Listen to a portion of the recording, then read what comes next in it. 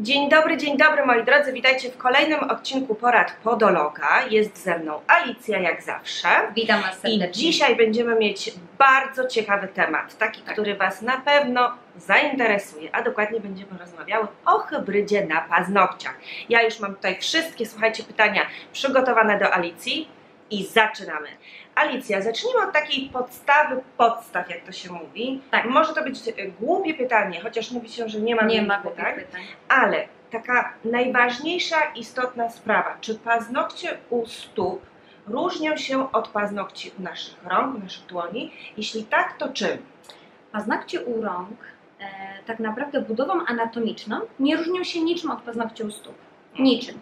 Natomiast jest pewna różnica, na przykład grubości. Paznokcie u dłoni są cieńsze niż paznokcie u stóp. O, Tak. Dwa, paznokcie u dłoni szybciej odrastają niż paznokcie. Tak, niż paznokcie u stóp. Dlatego bardzo często klientki mówią, że a hybryda to wie pani, zanim ja zobaczę odrost, to, to będzie świat i pół Ameryki. To zdąży całe lato przechodzić. A u dłoni często mówią, no już odrost Dwa tygodnie? dosyć. Tak, już, już, przydało. tak, już coś, już coś widać.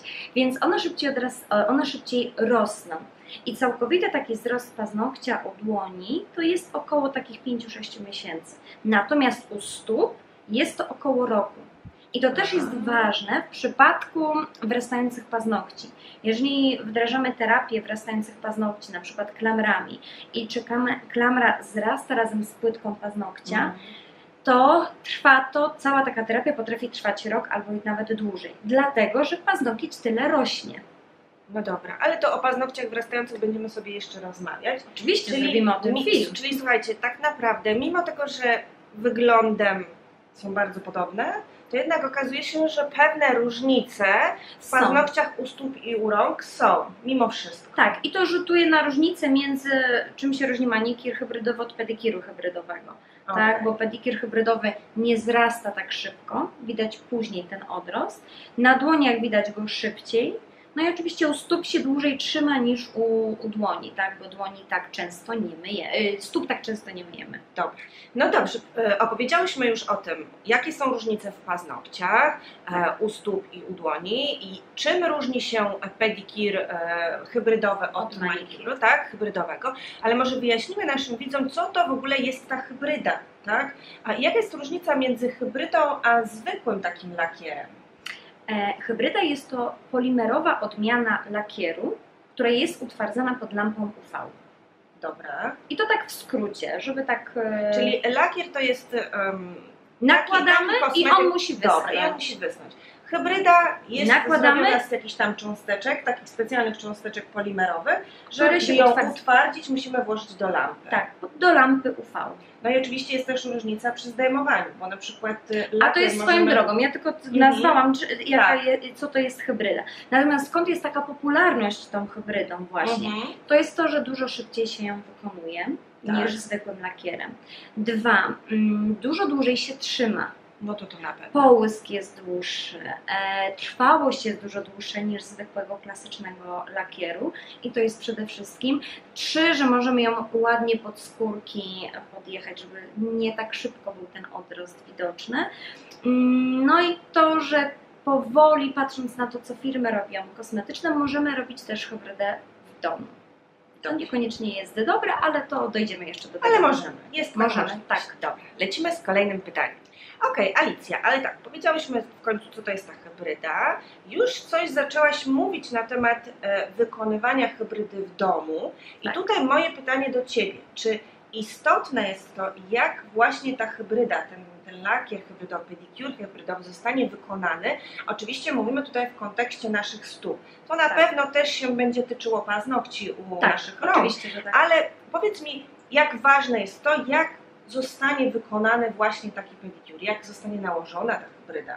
Każda stylizacja paznokci wykonana nieumiejętnie, bez jakiegokolwiek przeszkolenia, nie jest tak bezpieczną stylizacją, jak wykonywana przez profesjonalistę.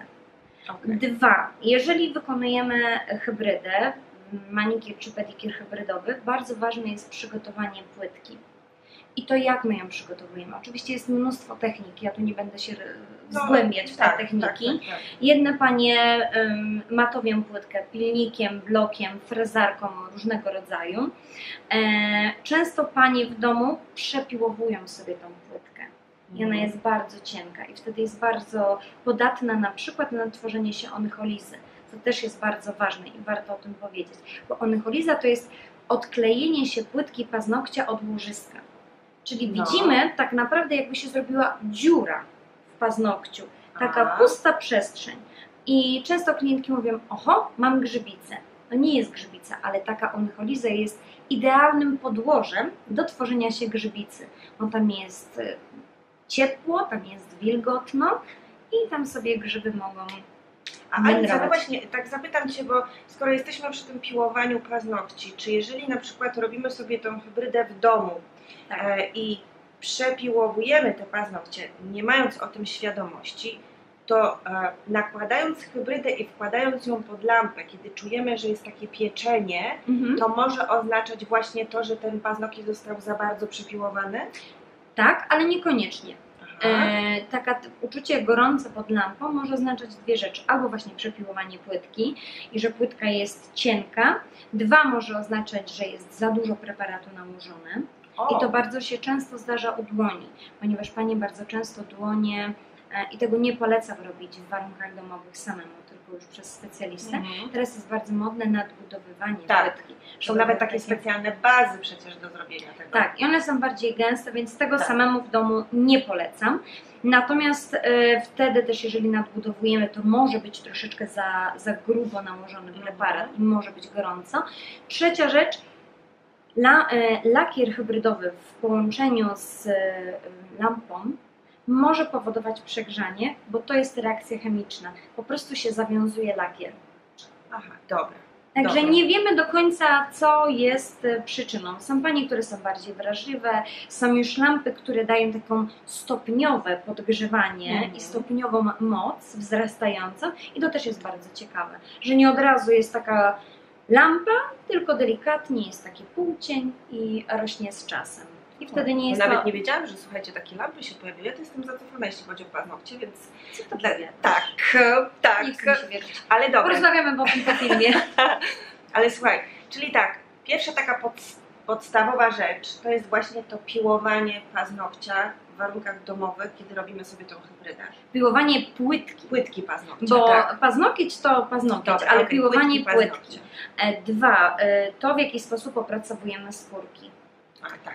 E, Czy używamy do tego radełka, czy Mhm. uwa- używamy do tego cążek, czy używamy do tego teraz popularnych nożyczek, które są bardzo ostre i to jest niebezpieczne w warunkach naprawdę trzeba się Widziałam, że profesjonaliści używają już takie nożyczki, chociaż jeszcze cały czas widzę, że korzysta Tak. się z frezarki. Z frezarki, oj są różne techniki, albo Mhm. są bezcążkowe, tak zwane, czyli tylko na frezarce, albo są e, z nożyczkami, z frezarką, różnego rodzaju są kombinacje. To przyszło do nas właśnie z, ze wschodu. Natomiast e, co jeszcze jest ważne, czy nie przypiłujemy, bo bardzo często przy skórkach, znaczy bardzo często przy skórkach jest macierz i ona jest bardzo delikatna. I jak my tak bardzo zaczniemy wyciągać tutaj te skórki i wycinać je, to możemy uszkodzić macierz. Jeżeli uszkodzimy macierz, no to cały paznokieć potrafi później nam wzrastać taki pofalowany, co trudno jest później samemu, samemu się nie da tego poprowadzić, tak? Ale jest to dosyć skomplikowane e, i problematyczne. E, I jeszcze kolejna rzecz, to w jaki sposób ściągamy. Tak, to, Hybrydę. tak, oczywiście. Bo to jest jeden z większych według mnie obecnie problemów. Jak ściągamy tą hybrydę? I teraz są panie, które mają techniki matowie blokiem czy pilnikiem, aceton, folia aluminiowa i czekamy. Są opcje frezarki, ściągania frezarką. Mhm. E, Są opcje, panie ściągają samym pilnikiem, spływują. Są opcje domowe, paznokciem podzieram i zdejmuję. Też są takie, Tak. też są, też, Tak. też są takie opcje. To jest taką ma małą gwiazdką zaznaczone. E, Chociaż powiem Ci, że widziałam też, jest taka marka chyba ProNails, o ile się nie mylę, która też wprowadziła e, lakiery hybrydowe, które nakłada się na taką specjalną e, folię, tak mi się wydaje, e, i później, żeby ten lakier hybrydowy usunąć, i, mhm. wystarczy lekko podważyć po, tak, i one schodzą same, bo tam jest właśnie tak jakby taka Folia ochronna. folia, folia ochronna, która powoduje, że ten lakier hybrydowy nie przyczepia się do samego paznokcia, tylko Mhm. właśnie do tej folii i później łatwo jest go ściągnąć, nie trzeba nic piłować, nic robić, tylko delikatnie opiłować e, paznokcie. I ty mówisz, że na, na, nie, nie znasz się na kiedyś że jesteś słuchaj, zacofana. Kiedyś byłam na prezentacji tej marki i to było naprawdę kupę lat temu i to chyba jeszcze było przed studiami, albo na samym początku moich studiów. Teraz, teraz Więc nie, nie, wiem, czy jest tego. coś takiego jeszcze, ale wiem, że kiedyś coś takiego było i to był w ogóle hit, bo wtedy też właśnie wchodziła hybryda i oni wymyślili coś innego, coś nowego, co będzie taki właśnie dostosowanie Bardziej bezpieczne, tak, domowych. domowych. No to jest do, dobra, dosyć dobra koncepcja. Nie, nie, ja się z tym nie spotkałam, przyznaję Dobra, się. to podsumow- musimy sobie podsumować w takim razie, czyli jest bardzo istotne to, jak pedicure czy manicure hybrydowy będzie wykonywany. Wymieniła Alicja te najważniejsze punkty, Tak. czyli opiłowywanie paznokcia i płytki paznokcia, Przygotowywanie przygotowanie płytki. Tak. dokładnie paznokcia i to, jak tą hybrydę będziemy ściągać. To wszystko będzie miało znaczenie na to, w jakim stanie będą później paznokcie Tak, i jak będą przygotowane do następnego. do następnego. Bo jeżeli będziemy robić jedna hybryda za hybrydą, no to musimy też odpowiednio ściągać ten preparat. Tak. I to wszystko tutaj zależy oczywiście od jak, jakimi preparatami pracujemy. Czy bardziej gęstymi, czy bardziej bazy są już różnego rodzaju, kauczukowe, silikonowe, różnego, różnego rodzaju. Natomiast co możemy zrobić, właśnie jeszcze cofnę się do Dobra. tego, Anita, co możemy zrobić, jeżeli acetonem e, będziemy ściągać hybrydę? No. Ja mam jeszcze kilka klientek, które sobie życzą tylko i wyłącznie acetonem ściąganie.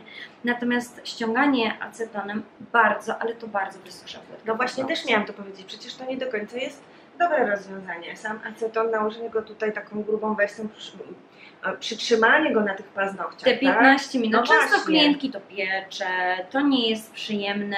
No poza tym woń tego acetonu też jest jaka jest.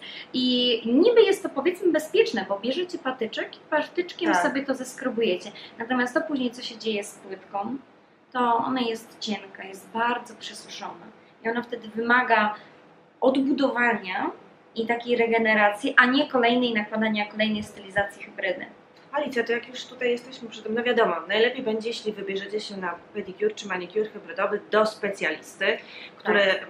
Wam odpowiednio przygotuje paznokcie i wykona taki pedicure czy manicure, ale jeśli się zdecydujemy na to, żeby jednak zrobić go sobie samemu w domu, to według Ciebie jaka forma opiłowywania paznokcia będzie najlepsza? Chyba najbezpieczniejszy będzie pilnik. Pilnik jednak. Aceton będzie bardzo wysuszał. Aceton, To tak. też za... Frezarką też nie zawsze potrafimy się... Nie, w ogóle fryzarka w warunkach domowych Dokładnie. jest, e, to ją odrzucamy w pierwszej Czyli kolejności. jednak pilnik Tak. i też nie przeginać z tym, jak długo będziemy piłować i w jednym miejscu. A to już, to już, to już, to już o tym pamiętamy. Tak. Nasze, nasze słuchaczki, To już nam- też pamiętam. myślę, że nasze słuchaczki też o tym pamiętają. Natomiast pilnik bądź blok, niekoniecznie, żeby to była gra- taka gradacja 100 na 180, taka Dobra. gruba, tylko może być 180 na 240 i delikatnie spiłowywać. Bo na przykład są e, profesjonalne bazy mm, do użytku w gabinetach, których nie zdejmiemy, chociażbyśmy bardzo chciały acetonem. To zdejmiemy tylko i wyłącznie frezarką. I generalnie zdejmowanie hybrydy, stylizacji hybrydowej frezarką jest najbardziej bezpieczną metodą. Natomiast trzeba to potrafić robić. No ale no właśnie, tak jak mówisz, to y, tutaj rozmawiamy o a, gabinecie, o salonie, o profesjonaliście, a y, jeśli już rozmawiamy o takim Domowym. manicure, pedicure, który chcemy sobie same wykonać, Tak. z różnych względów, no to jednak frezarka odpada, pamiętajcie o tym pilniczku. Tak, i jeszcze, jeszcze, bo tu widzisz, to jest dla mnie temat Ja rzeka. wiem, to Ja- jest bardzo taki obszerny temat. to jest dla mnie Można temat rzeka. godzinami, ale staramy się wyczerpać ten temat, więc proszę. Przekazujesz mi głos. Tak jest, pałeczka E, tak, frezarką bardzo często panie sobie robią rynny, A, no tak. bo ściągają za mocną, za mocną prędkością i sobie potrafią robić rynny. E, czasem ściągają kapturkiem ściernym. Nie będę, O nie nie, będę, nie te będę komentować. kapturki to są do skóry, tak? Te ścierne takie kapturki. Tak, do pedikier. No, No, też, też się zdarza, też się zdarza. E, no też żyjemy w takich czasach, że internet szaleje i mówi nam o wszystkim. No tak. Natomiast jeżeli decydujemy się na mm, stylizację domową, e, czy to manikir, czy to pedikir, to ja bym bazowała jednak na bazach takich mm, hybrydowych, takich podstawowych. Żeby to Okej. nie była jakaś utrwa, y, utwardzająca, która by była jakaś nadająca się do przedłużenia, bo takie bazy są dużo trudniejsze, one są bardziej żelowe, one są trudniejsze do ściągania. I mogą nam bardziej w warunkach domowych zniszczyć takie płytkę. proteinowe, które już mają kolor i wystarczy, że po prostu nałożymy taką bazę i już później nic nie musimy robić? Też mogą być. Są, Mhm. już, e, są już lakiery trzy w jednym, które służą nam za bazę, służą nam No za kolor właśnie. i służą nam za top. W moim osobistym mniemaniu one są bardzo trudne do nakładania. One są bardzo gęste. Gęste. No bo muszą, Tak. znaczy, też patrzmy na to, co jest do wszystkiego, jest do niczego, ale no przyspiesza nam to pracę w domu. Nakładamy raz, dwa razy i to już jest wszystko. Albo po prostu kiedy, wiesz, nie mamy takiego Śpieszymy. doświadczenia, e, Dokładnie. albo nie możemy się wybrać na manicure czy pedicure, bo akurat nie ma terminów, em, nie wiem, szykuje nam się jakiś wyjazd, więc coś takiego, co szybko Jest to dobre. sprawi, tak, to jest dobre rozwiązanie. Jest, tak? tylko ona jest bardziej gęsta i na tym trzeba się nauczyć pracować, bo to nie jest taki zwykły lakier. W ogóle Tak. lakiery hybrydowe są dużo gęstsze niż zwykły lakier. Też trzeba się tego nauczyć. Tak. I one przez to, no, stylizacja hybrydowa jest bardzo taka naturalna. I to też dlatego klientki bardzo to lubią. Także uważamy na to, w jaki sposób ściągamy hybrydę. Czy to jest frezarką, czy to jest e, pilnikiem, czy to jest acetonem. W warunkach domowych najbezpieczniejszy pilnik i. Pilnik. Dobra, lecimy z kolejnym pytaniem. Okej, Alicja, to powiedz mi teraz, czy y, hybryda wykonana u paznokci, na paznokciach u stóp Tak. może im zaszkodzić? Jeśli tak, to w jaki sposób? Może im zaszkodzić, jeżeli jest niewykonywana profesjonalnie, jeżeli Mhm. zostanie źle ściągnięta, jeżeli zostanie przepiłowana płytka i zrobi się nam onycholiza. Dobra, E, Jeżeli używamy nieprofesjonalnych produktów, okej. e, które nam Jakiś też z mogą... AliExpress na przykład. Tak. I one bardzo często właśnie z AliExpress e, potrafią, bo też był taki moment, że hybryda była nie, bo uczulała. A tak, właśnie też miałam się Ciebie o to zapytać. Był taki moment, że hybryda nie, bo uczulała. My mamy w swojej, e, w Polsce mamy swoje normy, jakie składniki w kosmetykach są dopuszczalne, o jakich stężeniach. Jeżeli będziemy sobie ściągać takie produkty właśnie z AliExpress, to one nie są przygotowane do naszego rynku sprzedaży. Więc one bardzo często potrafią uczulać. No dobra, ale widzisz, ja tu Cię zaskoczę. O jacie. Bo ja nie będę wymieniać Aż- marki. Ale jest taka marka, którą sobie testowałam na moich paznokciach, Mhm. której nie mogę używać. Dlaczego? Dlatego, że nakładając lakiery hybrydowe tej marki, e, pojawia mi się zaczerwienienie na wałach okołopaznokciowych. Tak, takie pieczenie. Co to jest? To jest właśnie Uczulenie To na uczulenie? którykolwiek ze składników, bo jesteśmy uczuleni na trzy rzeczy. no, Konserwanty, tak. barwniki albo kompozycję zapachową. W lakierach masz, no może poza zapachem, tak? No to masz i kompozycję, e, i masz e, konserwanty, i masz barwniki.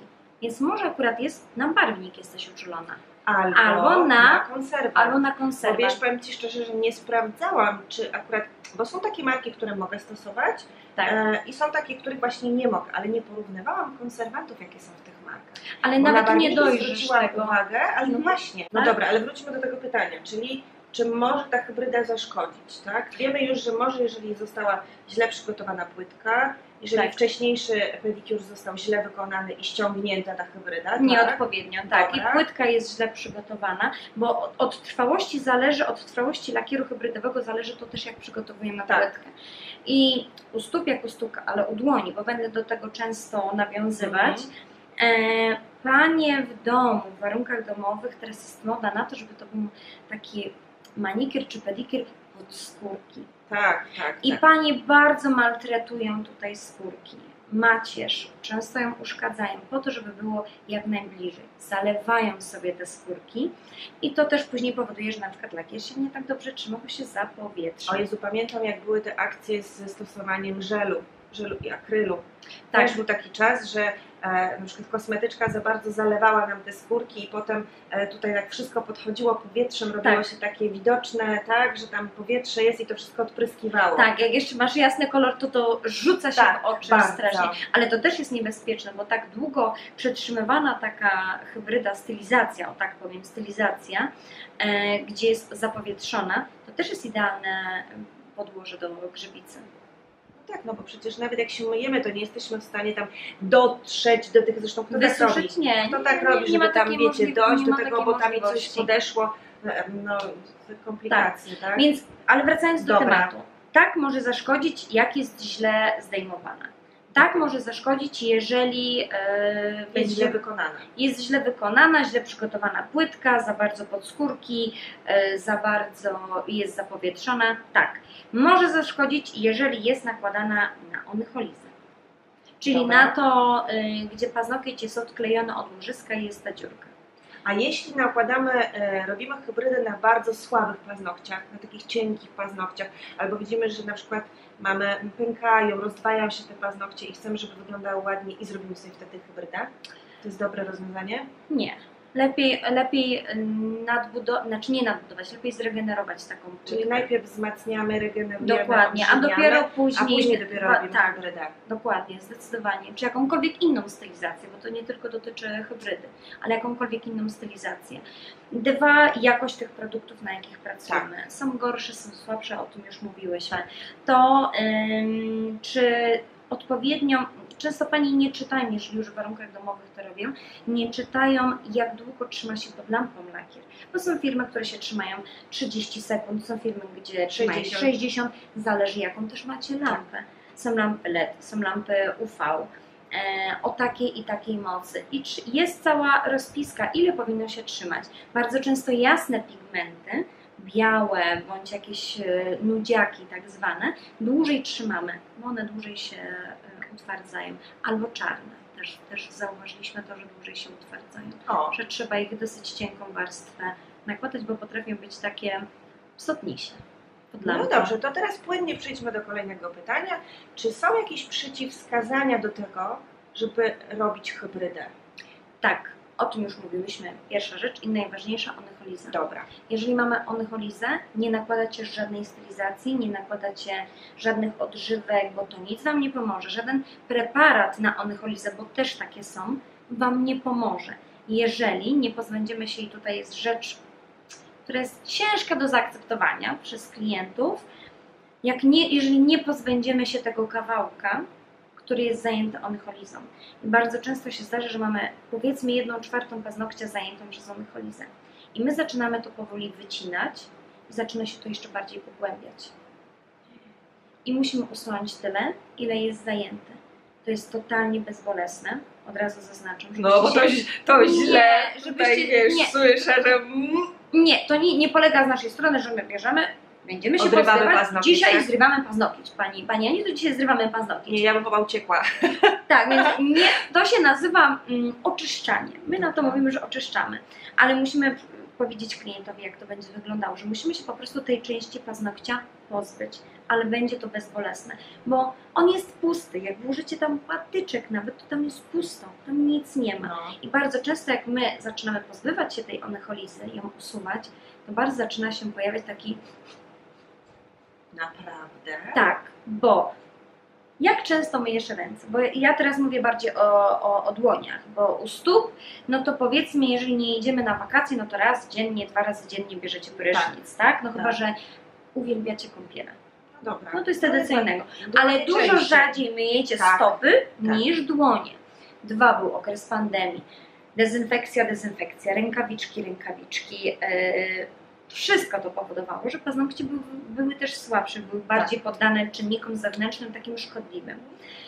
I jeżeli my tego nie usuniemy do końca, to już tam zaczyna się na przykład taka maź zbierać, tak zaczyna już coś być odczuwalne. I jeżeli nie ma żadnego preparatu, żadnego na rynku, który zadziała nam na onycholizę bez usunięcia tego fragmentu paznokcia.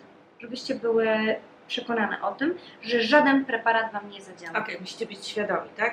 Tak. Że tak to wygląda. No ale No dobra, mamy oj, Tak. I e, ja też zaznaczam, e, i wiele podologów tak ma, jeżeli klientka przychodzi z onycholizą, ona może nawet nie wiedzieć o tym, że to ma. Mhm. A, bo onycholiza może się zrobić również od odbicia, e, szczególnie u stóp, w butach. Za duży ucisk był i odbiłyśmy sobie paznokieć, też może się zrobić. To nie jest tylko onycholiza związana, bo mamy, bo robiłyśmy stylizację hybrydową czy jakąkolwiek inną. Nie. Ale może się zdarzyć tak, że klientkę, ja to często klientom powtarzam, jeżeli się zapisują na pedikier hybrydowy, że jeżeli płytka paznokcia nie będzie w dobrym stanie, ja mogę odmówić wykonania stylizacji hybrydowej bądź jakiejkolwiek innej. Bo nałożenie na, mm, na onycholizę bądź na grzybicze czy jakieś zmiany, y, zmiany paznokciowe stylizacji to jest takie zamaskowanie tego problemu całego A nie usunięcie. a nie usunięcie. I to może powodować jeszcze gorsze, jeszcze większe pogł- pogłębianie się tego. Dlatego liczcie się z tym, że podolog może Wam odmówić, powiedzieć nie zrobię, bo to jest za duże ryzyko dla Pani i paznokcia, że może się coś tam dziać pod A tym. Nie, ciąża nie jest. nie Można jest spokojnie wykonywać hybrydę nawet w ciąży. Tak. Bo też czasami dziewczyny pytają o to, czy można. Nie, ym, tutaj bardziej chodzi o naświetlanie. Mhm. ale czas, który my naświetlamy, już mamy lampy LEDowe, które się, uświetla, które się naświetlają 30 sekund. To już nie jest stare czasy, gdzie e, pod tą wrażeniówkę wstawiałyśmy na, na minutę, na dwie, więc to już nie, to nie jest. e, Czasem paniom przeszkadza zapach. Okej, tak. To No ale na to, to zdarzyć, póki nie dobra. spróbują, to nie mają, to nie mamy A wpływu, cukrzyca? tak? Mm, cukrzyca w ogóle nie jest, przeciw, nie jest wskazaniem do takich stylizacji. Często osoby, które mają Właśnie. cukrzycę nie, nie wykonują takich stylizacji, bo się boją, tak? Ale poza onycholizą, poza cukrzycą jeszcze mamy mm, łuszczycę na przykład. Panie, Aha. które mają łuszczycową płytkę, taką często poprążkowaną, to Mhm. też jest przeciwwskazanie do wykonywania. Znaczy przeciwwskazanie. Nie będzie się ten lakier trzymał po prostu. Tak jak nie będzie się, bo są jeszcze poza łuszczycą jest jeszcze nadpotliwość, która. No. nie jest przeciwwskazaniem, ale jeżeli Panie często mówią do mnie, wie Pani, nie będziemy robić hybrydy, bo mi się hybryda nigdy nie trzyma. Czy na dłoniach, czy na stopach dwa dni ona mi odpada. No. Raz, w jaki sposób była wykonywana. I tutaj my zaczynamy zgłębiać ten temat. Ale co było nie tak? Żebyśmy wiedziały, jaka była tego przyczyna. I jeżeli tak naprawdę są dwa przypadki, gdzie hybryda nie powinna, nie będzie się trzymała, chociażby nie wiem, jakbyśmy zrobiły profesjonalnie, albo nadpotliwość, bo po prostu płytka sama w sobie, mimo tego, że ją złuszczymy, odtłuścimy, ona jest tłusta i nie Mhm. będzie się lakier trzymał. No i dwa, mm, łuszczyca czasem przy atopikach, przy atopowym zapaleniu skóry też potrafi się nie trzymać. Oni są też wrażliwsi na stylizację, szczególnie takie przy skórkach, żeby nie zalać tutaj im e, skórek, bo to może ich tam szczypać, piec, więc Patrz, ale wiesz co, zaskoczyłaś mnie z tą nadpotliwością, powiem Ci szczerze. tak, często się, No, znaczy często, nie znam e, osoby, która ma nadpotliwość i której się e, trzyma hybryda. Dobra, świetnie. takie- I grzybica, I grzybica. Ale to, to już mu tak, mówiłaś, wspominałaś. Dobra, lecimy z kolejnym pytaniem. A jak? Kolejne pytanie to Alicja powiedz nam, czy można robić cały czas hybrydę bez przerywania? powinno się robić e, przerwy, ale jeżeli stosujemy powiedzmy przez rok stylizację hybrydową i tutaj czy to są dłonie, czy to stopy, u stóp jest łatwiej, bo jest ta płytka grubsza, natomiast u dłoni, jeżeli ją wykonujemy rok i zrobimy sobie przerwę na miesiąc, na dwa, to jest No, żadna nie. przerwa, Okej. bo powinna się zrastać, zrasta się płytka 5 miesięcy, więc powinniśmy zrobić tak po roku, maks dwóch, zrobić taką przerwę półroczną i wtedy regenerować sobie tą płytkę. Natomiast przy dobrze wykonywanej stylizacji hybrydowej ta płytka nie będzie bardzo słaba, Aha. bo my też e, wykonując stylizację nie ściągamy w 100% poprzedniej stylizacji, tylko zostawiamy odrobinkę bazy po to, żeby nie dochodzić tak do tej, do tej płytki, żeby jej tak nie, nie złuszczać za bardzo. No są różne techniki tego i nie będziemy się tutaj wzgłębiać, bo ja też nie Tak. znam wszystkich technik, bo jest ich od groma i co już są nowe. Natomiast y, myślę, że takie pół roku to powinny być przerwy. Czyli- Jeżeli mamy na miesiąc przerwać, Dokładnie. to w ogóle nie ma Da, sensu. to nic nie. da. No dobra. A powiedz mi w takim razie, czy są jakieś alternatywy dla hybrydy, które będą równie dobre? E, która będzie równie wyglądała naturalnie, Tak. która będzie się równie długo trzymać, Dokładnie. która będzie powiedzmy mniej niż czuła płytka, aczkolwiek tego nie wiem, bo ja tej stylizacji Dobra. nie wykonuję. Jest coś takiego i która się dobrze sprawdza przy osób z nadpotliwością, to, No. też, to też tak słyszałam, jest e, manikier tytanowy. O proszę. Taki, ale osobiście uważam, że nie jest to na tyle higieniczne. Mhm. I wiele gabinetów z tego odchodzi, bo polega to na tym, że my nakładamy e, kolor nakładamy w taki puder No właśnie. i e, musimy zanurzyć ten paznokieć. A no właśnie. I to nie jest- tam Dokładnie. I to nie jest ten To nie, to, nie jest, to nie jest higieniczne i wiele gabinetów z tego po prostu odchodzi. Poza tym to dużo dłużej trwa niż manikier hybrydowy, ale jest to pewna alternatywa. No i oczywiście klasyczny, e, klasyczny lakier. Mamy winyle, które dużo dłużej się utrzymują.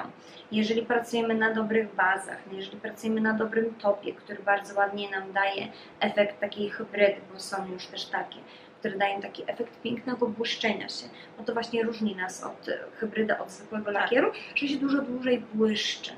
Tak, bo jeszcze u stóp bardzo często pani mówią, czy nałożymy hybrydę, czy nałożymy zwykły lakier, to on będzie się tak samo długo trzymał. Kwestia w jakich butach chodzimy. Bo jak chodzimy w zakrytych butach, to się po prostu automatycznie Ściera. ściera, Mhm. tak? Tak. Jak jesteśmy, nie wiem, klientki jadą gdzieś na wakacje i jest piasek, plaża, to bardzo często klientkom mówię, jeżeli wybierają zwykłą e, stylizację, zwykłym lakierem, czy to winylowym, czy zwykłym klasycznym, mówię, proszę wziąć ze sobą jakiś top, swój drogeryjny, jaki Pani ma, bo lakier może się zmatowić przez piasek. I wtedy Panie sobie odświeżają po prostu ten kolor, żeby on wybił się, żeby był bardziej błyszczący. No dobrze, moi drodzy, powiedzieliśmy chyba o wszystkim, przynajmniej tak mi się wydaje, ale w tym temacie moglibyśmy dużo, dużo więcej powiedzieć. Oj, tak, zdecydowanie. Więc tutaj chciałabym zaznaczyć, że jeżeli macie jakieś pytania do Alicji, to w zostawiajcie w komentarzach, komentarzach. Alicja będzie odpowiadać, czy to o preparaty, czy to odżywki, czy e, o cokolwiek, co Was interesuje w temacie hybrydy. Powiedziałyśmy sobie o tym, co robić i czego nie robić, na co Tak. zwracać uwagę, jakie są te różnice w paznokciach, jakie są różnice w manicure i pedicure hybrydowym. E, No i myślę, że na zakończenie warto by było jeszcze podkreślić. Że jeśli oczywiście macie taką możliwość, środki finansowe, dostępność, to mimo wszystko decydujcie się na to, żeby wykonywać U hybrydę u specjalisty. Tak. Bo to Wam gwarantuje, jak te paznokcie będą I wyglądały. bezpieczeństwo. I bezpieczeństwo dokładnie. Zawsze będziecie mieć tą gwarancję. Jeśli nie, to pamiętajcie koniecznie o tych wszystkich wskazówkach, o których dzisiaj powiedziała Wam Alicja, bo są naprawdę bardzo istotne w tym, jak będą wyglądały Wasze e, paznokcie, a jak długo będzie się utrzymywała ta hybryda, no i to właśnie bezpieczeństwo, o którym dzisiaj powiedziałyśmy. O tym, żeby też tak często nie zmieniać tej stylizacji, żeby Tak. nie robić tego co tydzień, bo wiem, że macie, bo dzisiaj już bym chciała inny, Inny kolor, kolor, tak? Też żeby nie robić tego co tydzień, żeby nie męczyć tak tej płytki paznokcia, szczególnie w warunkach domowych, żeby aż tak nie dbać o to, żeby to było pod skórki, tak jak jest wszystko na Instagramie pokazane. I pamiętajcie o tej jakości, to też jest bardzo ważne. Starajcie się wybierać profesjonalne, dobrej jakości produkty do paznokci, a nie kupowane gdzieś na chińskich stronach, gdzieś na AliExpress, bo tam możemy sobie przeoszczędzić i kupić więcej lakierów. Mieć, lepiej jest mieć mniej, ale mieć to Lepszej jakości. lepszą jakość, dłużej utrzymujący się e, manicure, pedicure hybrydowy. To jest bardzo ważne. Alicja, dziękuję Ci za dzisiaj. Bardzo dziękuję Wam. I kochani, widzimy się w kolejnym odcinku. Przypominam, że namiary na Alicję macie w opisie. Tak, no i życzymy Wam miłego dnia. Tak jest. Trzymajcie się ciepło. Do zobaczenia. Pa.